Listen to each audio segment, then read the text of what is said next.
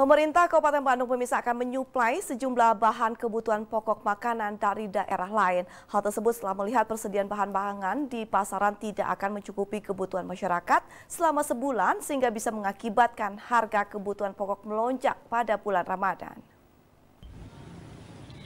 Tim Satgas Pangan Kabupaten Bandung yang terdiri dari Disperindak dan petugas kepolisian Resort Bandung mengecek harga dan persediaan bahan kebutuhan pokok makanan di pasar tradisional Soreang Kabupaten Bandung Rabu pagi.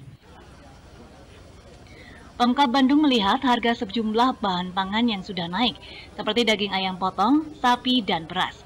Daging ayam potong sebelumnya dijual dengan harga Rp32.000, kini menjadi Rp36.000 per kilogram. Menurut pedagang, kenaikan diakibatkan kurangnya pasokan ayam dari bandar.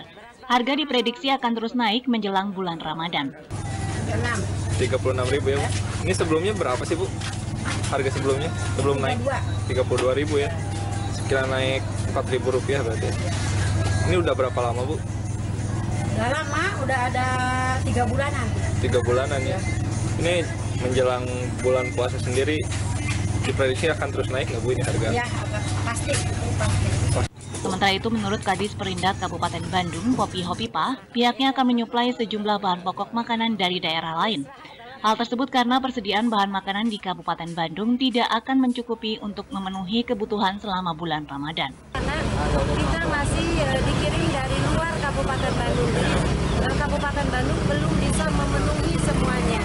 Uh, ternyata untuk pasar Soreang saja satu warung itu sehari habis uh, tiga tiga kuintal satu kios ya untuk ayam. Lalu untuk telur satu ton setengah per hari. Berarti itu per hari.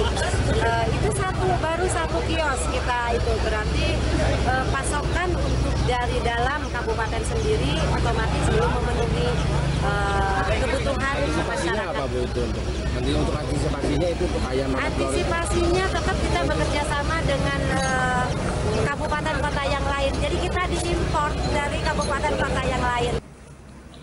Tim Satgas Pangan Kabupaten Bandung akan terus mengecek ke sejumlah pasar tradisional di Kabupaten Bandung guna mengantisipasi lonjakan harga yang signifikan pada bulan Ramadan. Rezitia Prasaja, Bandung TV.